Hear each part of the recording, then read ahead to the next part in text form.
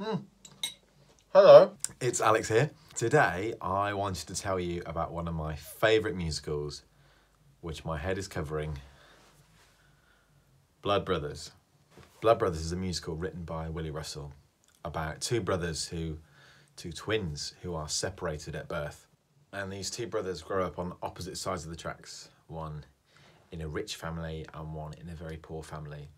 And the focus is on these two brothers and the mothers and the families. Originally, it was a school play, and Willy Russell, the writer of the show, wanted to wanted it to be quite relatable for kids. Um, and I, it was the Merseyside Youth School Theatre that he wrote it for, and actually, it's something that you can study at uh, at high school. I think you can still you can work on it. So as a, as well as it being a huge success in the West End and on the UK tour and all over the world, it's a piece that's worked on quite a lot in schools. That's how versatile and relatable it is for people of all ages. So if you haven't heard of it, Blood Brothers, I highly recommend. It's fantastic.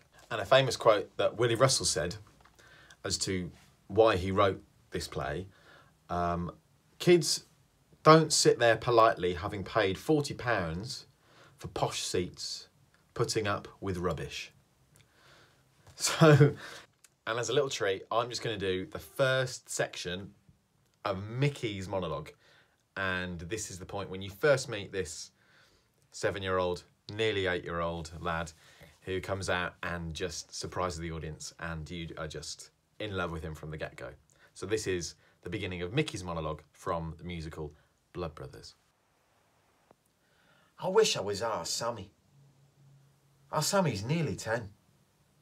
He's got two worms and a catapult and he's built an underground den but I'm not allowed to go in there. I have to stay by the gate because my mum says I'm only seven. But I'm not. I'm nearly eight.